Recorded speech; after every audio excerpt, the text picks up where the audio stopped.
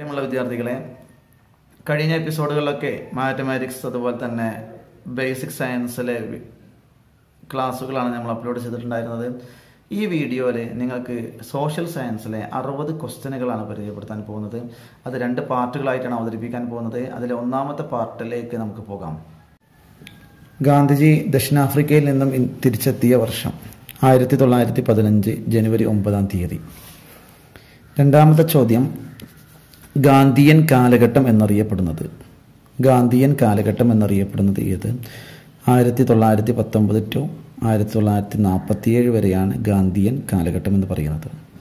ഇത് ഇങ്ങനെയും കാണുന്നുണ്ട്. ആയിരത്തി തൊള്ളായിരത്തി ഇരുപത് ടു ആയിരത്തി തൊള്ളായിരത്തി നാൽപ്പത്തി ഏഴ് എന്ന് വേറെ ഒരു ബുക്കിൽ ഞാൻ കണ്ടിട്ടുണ്ടായിരുന്നു.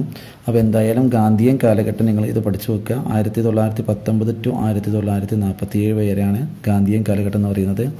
ഇനി നമുക്ക് മൂന്നാമത്തെ ചോദ്യത്തിലേക്ക് പോകാം. പ്രവാസി ഭാരതീയ ദിനം എന്നറിയപ്പെടുന്നത് എന്ന്. പ്രവാസി ഭാരതീയ ദിനം എന്നറിയപ്പെടുന്നത് എന്ന്.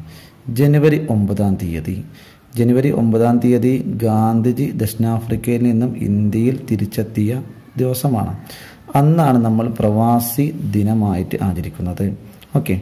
പ്രവാസി ദിനമായി ആചരിക്കുന്ന ആരുടെ ആരുമായി ബന്ധപ്പെട്ടതാണെന്ന് ചോദിച്ചു കഴിഞ്ഞാൽ അതിന്റെ ഉത്തരമാണ് ഗാന്ധിജി ദക്ഷിണാഫ്രിക്കയിൽ നിന്നും ഇന്ത്യയിലേക്ക് തിരിച്ചെത്തിയ വർഷ ദിവസമാണ് ജനുവരി ഒമ്പത് ആയിരത്തി തൊള്ളായിരത്തി പതിനഞ്ച്. ഓക്കെ നമുക്ക് നാലാമത്തെ ചോദ്യത്തിലേക്ക് പോവാം. ഇന്ത്യയിൽ ഗാന്ധിജി നേതൃത്വം നൽകിയ ആദ്യ സമരം ഏതാണ്? ഇന്ത്യയിൽ ഗാന്ധിജി നേതൃത്വം നൽകിയ ആദ്യ സമരം ഏതാണ്? ചമ്പാരൻ സത്യാഗ്രഹമാണ് ഇന്ത്യയിൽ ആദ്യമായിട്ട് ഗാന്ധിജി നേതൃത്വം നൽകിയ സമരം എന്നറിയപ്പെടുന്നത്. ഓക്കെ. ഇനി ചമ്പാരൻ സത്യാഗ്രഹം നടന്ന വർഷമേത് ചമ്പാരൻ സത്യാഗ്രഹം നടന്ന വർഷം ആയിരത്തി തൊള്ളായിരത്തി പതിനേഴാണ് ചമ്പാരൻ സത്യാഗ്രഹം നടന്നത്. ഓക്കെ. ആയിരത്തി തൊള്ളായിരത്തി പതിനേഴിലാണ് ബീഹാറിലെ ചമ്പാരൻ എന്ന പ്രദേശത്ത് ഗാന്ധിജി ആദ്യമായിട്ട് സത്യാഗ്രഹം നടത്തുന്നത്. ഓക്കെ. ഇനി അടുത്ത ആറാമത്തെ ചോദ്യത്തിലേക്ക് വരാം. അഹമ്മദാബാദിലെ അഹമ്മദാബാദിലെ തുണിമിൽ തൊഴിലാളികൾക്ക് വേണ്ടി തുണിമിൽ തൊഴിലാളികൾക്ക് വേണ്ടി ഗാന്ധിജി സമരം നടത്തിയത് എന്ന്. അഹമ്മദാബാദിലെ തുണിമിൽ തൊഴിലാളികൾക്ക് വേണ്ടി ഗാന്ധിജി സമരം നടത്തിയതെന്ന്. ആയിരത്തി തൊള്ളായിരത്തി പതിനെട്ടിലാണ് ഗാന്ധിജി ആദ്യമായിട്ട് അഹമ്മദാബാദിലെ തുണിമിൽ തൊഴിലാളികൾക്ക് വേണ്ടി സമരം നടത്തിയത്. അപ്പോൾ ആൻസർ ആയിരത്തി തൊള്ളായിരത്തി പതിനെട്ട് എന്നാണ്. ഏഴാമത്തെ ചോദ്യം. ബാരിസ്റ്റർ പരീക്ഷയ്ക്ക് പഠിക്കാനായി ഗാന്ധിജി ലണ്ടനിലേക്ക് തിരിച്ച വർഷമേത്? അല്ലെങ്കിൽ ബാരിസ്റ്റർ പരീക്ഷയ്ക്ക് പഠിക്കുന്നതിനായി ഗാന്ധിജി ലണ്ടനിലേക്ക് പോയ വർഷമേത്? ആയിരത്തി എണ്ണൂറ്റി എൺപത്തി എട്ട് ഒന്ന് എട്ട് എട്ട് എട്ട്. ഓക്കെ. ഒരു ഫാൻസി നമ്പറാണ് പതിനെട്ട് എൺപത്തെട്ട് എന്ന് പഠിച്ചു വെക്കാം. ഓക്കെ. ഗാന്ധിജി ദക്ഷിണാഫ്രിക്കയിലെ ഡർബനിൽ ദക്ഷിണാഫ്രിക്കയിലെ ഡർബനിൽ ആരംഭിച്ച പത്രം ഏത്? ഗാന്ധിജി ദക്ഷിണാഫ്രിക്കയിലെ ഡർബനിൽ ആരംഭിച്ച പത്രം ഏത്? ഇതിന്റെ പേരാണ് Indian Opinion. Indian Opinion. Okay. ദക്ഷിണാഫ്രിക്കയിൽ ആരംഭിച്ച പത്രമാണ് ഇന്ത്യൻ ഒപ്പീനിയൻ. ഇനി ഒമ്പതാമത്തെ ചോദ്യമാണ് ഏതൊരു ഇന്ത്യക്കാരനെയും ഏതൊരു ഇന്ത്യക്കാരനെയും വാറണ്ട് ഇല്ലാതെ വാറണ്ട് ഇല്ലാതെ അറസ്റ്റ് വാറണ്ട് ഇല്ലാതെ അറസ്റ്റ് ചെയ്യാനും അതുപോലെ വിചാരണ കൂടാതെ എത്ര നാൾ വേണമെങ്കിലും തടവിൽ പാർപ്പിക്കാം എന്നിങ്ങനെയുള്ള അധികാരങ്ങൾ നൽകിയ നിയമമേത് ഏതൊരു ഇന്ത്യക്കാരനെയും വാറണ്ട് ഇല്ലാതെ അറസ്റ്റ് ചെയ്യാം. വിചാരണ കൂടാതെ എത്ര നാൾ വേണമെങ്കിലും തടവിൽ പാർപ്പിക്കാം. എന്നിങ്ങനെയുള്ള അധികാരങ്ങൾ നൽകിയ നിയമമാണ് റൗലറ്റ് നിയമം എന്ന് പറയുന്നത്. റൗലറ്റ് ആക്ട് എന്നാണ് ഇതിന് പറയാം. മനസ്സിലാക്കി വെക്കാം. വിചാരണയില്ലാതെ അറസ്റ്റ് തടവിൽ എത്ര വേണമെങ്കിലും വെക്കാൻ കഴിയും. അതുപോലെ വാറണ്ട് ഇല്ലാതെ അറസ്റ്റ് ചെയ്യാനും കഴിയും. ഇങ്ങനെ ഒരു നിയമം ഈ നിയമം നമ്മൾ വിളിക്കുന്ന പേരാണ് റൗലറ്റ് നിയമം എന്ന് പറയുന്നത്. റൗലറ്റ് നിയമത്തിനെതിരെ രാജ്യം മുഴുവൻ കരിദിനമായി ആചരിച്ചതെന്ന്. റൗലറ്റ് നിയമത്തിനെതിരെ രാജ്യം മുഴുവൻ കരിദിനമായി ആചരിച്ചതെന്ന്. ആയിരത്തി തൊള്ളായിരത്തി പത്തൊമ്പത് ഏപ്രിൽ ആറാം തീയതിയാണ് റൗലറ്റ് ആക്ടിനെതിരെ അല്ലെങ്കിൽ റൗലറ്റ് നിയമത്തിനെതിരെ രാജ്യം മുഴുവനായിട്ട് കരിദിനമായിട്ട് ആചരിച്ചത്. അടുത്ത ചോദ്യമാണ് പതിനൊന്നാമത്തെ ചോദ്യമാണ്. ജാലിയൻ വാലാബാഗ് കൂട്ടക്കൊല നടന്നതെന്ന്. ജാലിയൻ വാലാബാഗ് കൂട്ടക്കൊല നടന്നതെന്ന്. ആയിരത്തി തൊള്ളായിരത്തി പത്തൊമ്പതിലാണ് ജാലിയൻ വാലാബാഗ് കൂട്ടക്കൊല നടന്നത്. ഇനി പന്ത്രണ്ടാമത്തെ ചോദ്യമായിട്ട് ജാലിയൻ വാലാബാഗ് കൂട്ടക്കൊലയിൽ പ്രതിഷേധിച്ച് ഗാന്ധിജി ബ്രിട്ടീഷ് ഗവൺമെന്റിന് തിരികെ നൽകിയ പദവി ഏത്? ജാലിയൻ വാലാബാഗ് കൂട്ടക്കൊലയിൽ പ്രതിഷേധിച്ച് ഗാന്ധിജി ബ്രിട്ടീഷ് ഗവൺമെന്റിന് തിരികെ നൽകിയ പദവി ഏത്? Kaiser E Hind. Kaiser E Hind എന്ന പദവിയാണ് ബ്രിട്ടീഷുകാർക്ക് തന്നെ തിരികെ നൽകിയത്. ഇനി അടുത്ത ചോദ്യം. പതിമൂന്നാമത്തെ ചോദ്യത്തിലേക്ക് പോവാം. മൗലാന ഷൗക്കത്ത് അലി അതുപോലെ മൗലാന മുഹമ്മദ് അലി എന്നിവരുടെ നേതൃത്വത്തിൽ എന്നിവരുടെ നേതൃത്വത്തിൽ ആരംഭിച്ച പ്രസ്ഥാനമേത് മൗലാന ഷൗക്കത്ത് അലി മൗലാന മുഹമ്മദ് അലി അലി സഹോദരന്മാർ എന്നാണ് ഇവർ അറിയപ്പെടുന്നത്. ഇവരുടെ നേതൃത്വത്തിൽ ആരംഭിച്ച പ്രസ്ഥാനം ഏത്? ഉത്തരം ഗിലാഫത്ത് പ്രസ്ഥാനം. ഉത്തരം ഗിലാഫത്ത് പ്രസ്ഥാനം. പതിനാലാമത്തെ ചോദ്യത്തിലേക്ക് വരാം. ജാലിയൻ വാലാബാഗ് കൂട്ടക്കൊലയിൽ ജാലിയൻ വാലാബാഗ് കൂട്ടക്കൊലയിൽ പ്രതിഷേധിച്ച് സർ പദവി തിരിച്ചു നൽകിയതാരെ സർ പദവി തിരിച്ചു നൽകിയത് ആരാണ്? ആ, രവീന്ദ്രനാഥ ടാഗോറാണ് സർ പദവി തിരിച്ചു നൽകിയത്. ജാലിയൻ വാലാബാഗ് കൂട്ടക്കൊലയിൽ പ്രതിഷേധിച്ചുകൊണ്ട് സർ പദവി തിരിച്ചു നൽകിയ വ്യക്തിയാണ് മഹത് വ്യക്തിയാണ് രവീന്ദ്രനാഥ ടാഗോർ. ഓക്കെ ദെൻ അടുത്തതിലേക്ക് വരാം. ജാലിയൻ വാലാബാഗ് സ്ഥിതി ചെയ്യുന്നത് എവിടെയാണ്? ജാലിയൻ വാലാബാഗ് സ്ഥിതി ചെയ്യുന്നത് പഞ്ചാബിലെ അമൃത്സറിലാണ് ജാലിയൻ വാലാബാഗ് സ്ഥിതി ചെയ്യുന്നത്. നിസ്സഹരണ പ്രസ്ഥാനം ആരംഭിച്ചതെന്ന്. നിസ്സഹരണ പ്രസ്ഥാനം ആരംഭിച്ചതെന്ന്. ആയിരത്തി തൊള്ളായിരത്തി ഇരുപതിലാണ് നിസ്സഹരണ നിസ്സഹരണ പ്രസ്ഥാനം ആരംഭിച്ചത്. ബ്രിട്ടീഷുകാരുമായി യാതൊരു സഹകരണമില്ലാതെ അവരുമായി നിസ്സഹകരിക്കാൻ വേണ്ടി തീരും ഉണ്ടാക്കിയൊരു പ്രസ്ഥാനമാണ് നിസ്സഹകരണ പ്രസ്ഥാനം. ആയിരത്തി തൊള്ളായിരത്തി ഇരുപതിലാണ് അത് ആരംഭിച്ചത്. നിസ്സഹകരണ സമരത്തിന് അംഗീകാരം നൽകിയ നിസ്സഹകരണ സമരത്തിന് അംഗീകാരം നൽകിയ ഐ എൻ സിയുടെ ഇന്ത്യൻ നാഷണൽ കോൺഗ്രസിന്റെ ഏത് സമ്മേളനത്തിൽ വെച്ചാണ്? സോറി നിസ്സഹകരണ സമരത്തിന് അംഗീകാരം നൽകിയത് ഐ എൻ സിയുടെ ഏത് സമ്മേളനത്തിൽ വെച്ചാണ്? ഐ എൻ സിയുടെ ഏത് സമ്മേളനത്തിൽ വെച്ചാണ് നിസ്സഹകരണ സമരത്തിന് അംഗീകാരം നൽകിയത്? ആയിരത്തി തൊള്ളായിരത്തി ഇരുപത്തി നാലിൽ കൽക്കത്ത സമ്മേളനത്തിൽ വെച്ചാണ് നിസ്സഹകരണ സമരത്തിന് അംഗീകാരം നൽകിയത്. പതിനെട്ടാമത്തെ ചോദ്യം. മലബാർ കലാപം നടന്ന വർഷം ആയിരത്തി തൊള്ളായിരത്തി ഇരുപത്തിയൊന്ന് അതുപോലെ പത്തൊമ്പതാമത്തെ ചോദ്യം. നിസ്സഹകരണ സമരം നിർത്തിവെക്കാൻ ഗാന്ധിജിയെ പ്രേരിപ്പിച്ച സംഭവം ഏത്? നിസ്സഹകരണ സമരം നിർത്തിവെക്കാൻ ഗാന്ധിജിയെ പ്രേരിപ്പിച്ച സംഭവം ഏത്?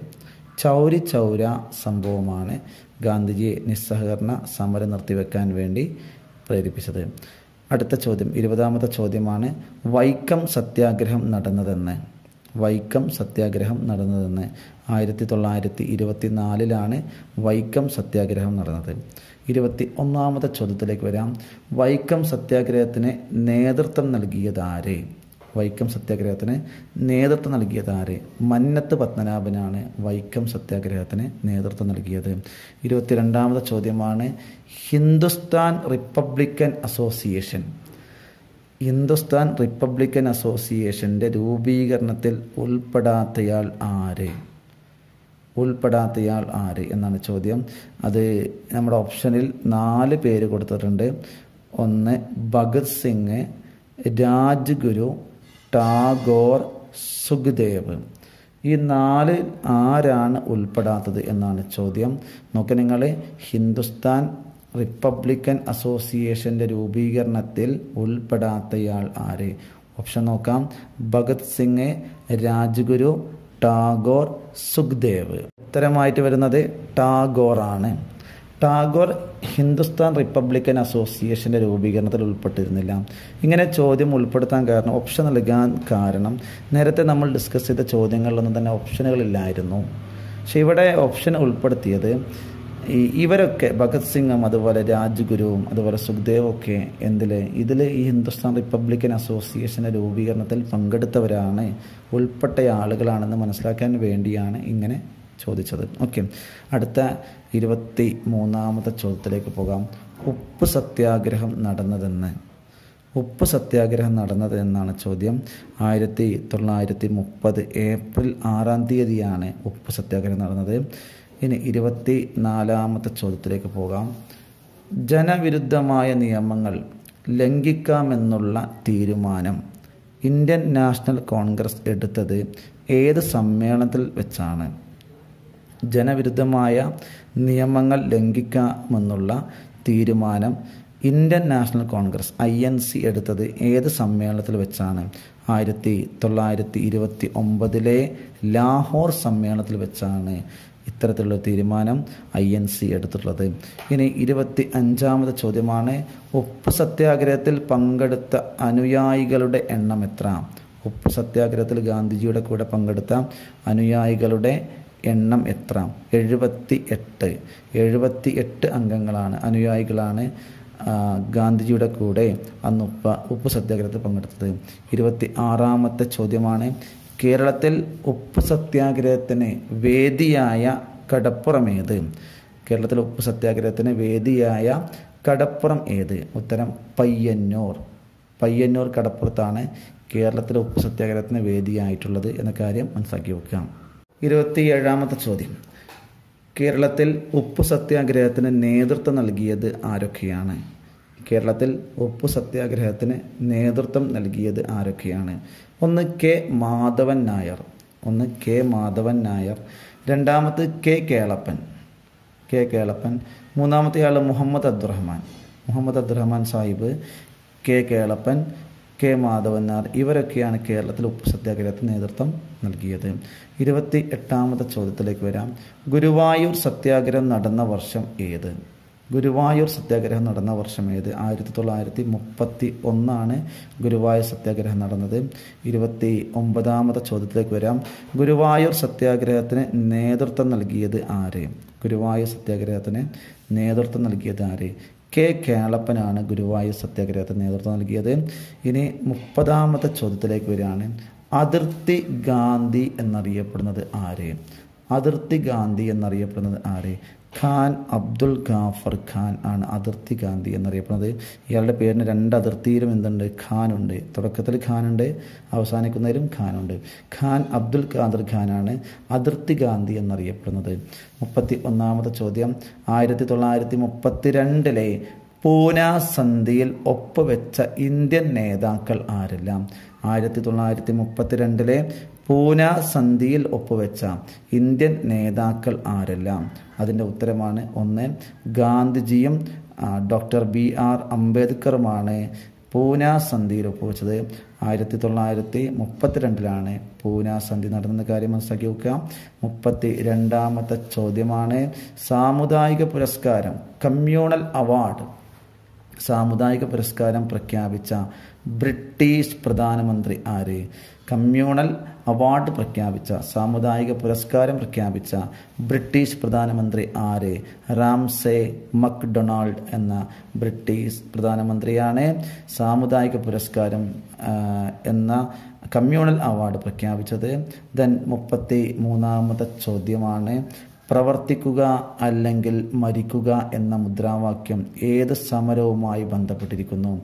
പ്രവർത്തിക്കുക അല്ലെങ്കിൽ മരിക്കുക എന്നുള്ള മുദ്രാവാക്യം ഏത് സമരവുമായി ബന്ധപ്പെട്ടിരിക്കുന്നു? അതിന്റെ ആൻസറാണ് കിറ്റ് ഇന്ത്യ സമരം. കിറ്റ് ഇന്ത്യ സമരവുമായിട്ടാണ് ഡോ ഓർ ഡൈ എന്ന് പറയുന്ന ഗാന്ധിജി ആഹ്വാനം ചെയ്ത പ്രവർത്തിക്കുക അല്ലെങ്കിൽ മരിക്കുക എന്ന മുദ്രാവാക്യം ഉയർത്തിപ്പിടിച്ചിട്ടുള്ളത് കിറ്റ് ഇന്ത്യ സമരക്കാലത്താണ്. തൻ കിറ്റ് ഇന്ത്യ സമരം നടന്ന വർഷമേത് കിറ്റ് ഇന്ത്യ സമരം നടന്ന വർഷം ആയിരത്തി തൊള്ളായിരത്തി നാൽപ്പത്തി രണ്ടാണ് അപ്പോൾ നമ്മുടെ എസ് എസിന്റെ സോഷ്യൽ സയൻസിന്റെ സാമൂഹ്യശാസ്ത്രത്തിന്റെ ഈ എപ്പിസോഡ് ഒമ്പതാം യൂണിറ്റ്. യൂണിറ്റ് ഏഴാം ക്ലാസ്സിലെ ഒമ്പതാമത്തെ യൂണിറ്റ് ഗാന്ധിജിയും സ്വാതന്ത്ര്യ സമരവും എന്ന് പറയുന്ന ചാപ്റ്ററിൽ നിന്നുള്ള ചോദ്യങ്ങളാണ് നമ്മൾ ഡിസ്കസ് ചെയ്തത്. ബാക്കിയുള്ള ചോദ്യങ്ങളുമായി നമുക്ക് അടുത്ത എപ്പിസോഡിൽ കാണാം. അപ്പോൾ നേരത്തെ പറയുന്നത് പോലെ തന്നെ നിങ്ങൾ ആദ്യമായിട്ട് കാണുന്നതാണെങ്കിൽ നിങ്ങൾ നിങ്ങളുടെ അഭിപ്രായങ്ങൾ നിങ്ങൾ കമന്റ് രൂപത്തിൽ രേഖപ്പെടുത്തുക. ക്ലാസ്സിനെ കുറിച്ചുള്ള നിങ്ങളുടെ അഭിപ്രായങ്ങൾ നിങ്ങൾ കമന്റായി രേഖപ്പെടുത്തുക. നിങ്ങൾക്ക് ഇഷ്ടമായെങ്കിൽ ലൈക്ക് അടിക്കുക. നിങ്ങളുടെ കൂട്ടുകാർക്ക് ഷെയർ ചെയ്യുക. നിങ്ങൾക്ക് യു ലഭിക്കട്ടെ എന്ന് ആത്മാർത്ഥമായി പ്രാർത്ഥിക്കുന്നു.